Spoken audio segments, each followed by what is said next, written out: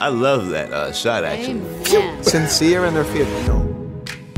I think to understand the heart of Planetshakers, we we're so big on the heart.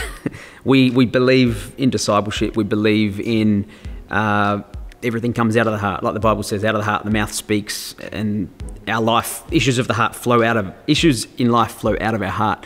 So we've always been really big on getting our heart in, in the right place. So um, it's never an opportunity to be on stage or anything like that. We, we really, before we even get on stage, we, we are seeking God, praying, um, spending that time where we just absolutely getting our heart in the right place. Like, why? What's the motive of us doing this? Why are we here on stage? Why are we even in this team? Why are we even in this church? Why are we even here tonight?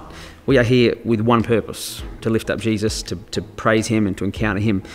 So, I think leading up to um, being on stage, it's, it's, it's always that heart check for us as a team.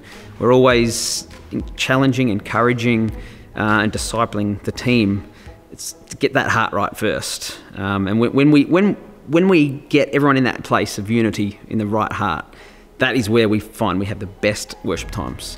Um, so we're constantly working on people's hearts at Planetshakers.